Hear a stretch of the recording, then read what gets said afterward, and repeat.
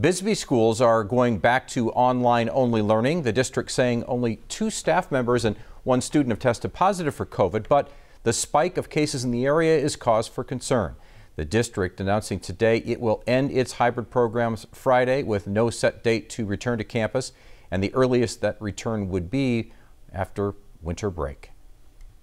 Stay online through the uh, end of the fall semester, uh, which will end about December 17th, and then we've uh, announced to our parents that we're going to take a look at where the benchmarks are that week of the 20, 21st and decide whether things are trending in the right direction, whether we can uh, uh, come back to in-person uh, after the Christmas break.